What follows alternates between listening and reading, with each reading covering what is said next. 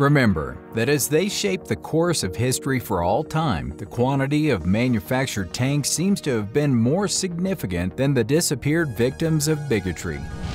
At first, their manufacturing was crucial to the use of weaponry. They sold more than medium tanks. However, the need for powerful tanks skyrocketed in 1943, leaving lightweight tanks well behind. Since then, fewer light tanks and medium tanks have been sold tanks played a role in victory for the Allies. The tank destroyer was thought to be too specialist for a peacetime force organization to warrant it. And why not when it is the hunting IFV Singapore itself? Let's explore.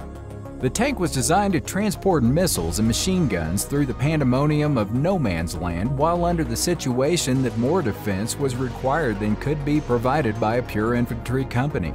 Due to financial difficulties and casualties, the tanks had an impact on a large number of people.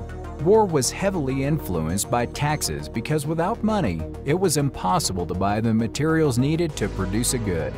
As a result, taxpayers paid very high taxes. The Hunter is a brand new armored fighting vehicle, AFV, that the Singapore Army has started using. The Hunter, the first fully digitalized platform in the Army, was created to give armored units better ability to operate more effectively and efficiently across all stages of military operations. Command, control, communications, and computing C4 systems were integrated into the new AFV. The newest AFV has a stronger hull and is built on a tracked chassis. It has room for a gunner, a driver, and a commander. The gunner and commander may operate the vehicle utilizing the same controls thanks to its integrated combat cockpit. It has a health and utilization monitoring system, HUMS, a fully digital platform that makes use of data analytics and algorithms to guarantee prompt repair and effective vehicle management. The drive-by-wire construction of the Hunter allows the vehicle commander to operate it as necessary rather than using rods and pistons connected to the driver's pedals. The AFV was dedicated during the 50th anniversary parade for the Singapore Army formation in June 2019. The Ultra M113 armored personnel carrier, which has been in use by the Singapore Army since the early 1970s, will be replaced by the 29.5-ton vehicle, which can transport three crew members and eight other soldiers.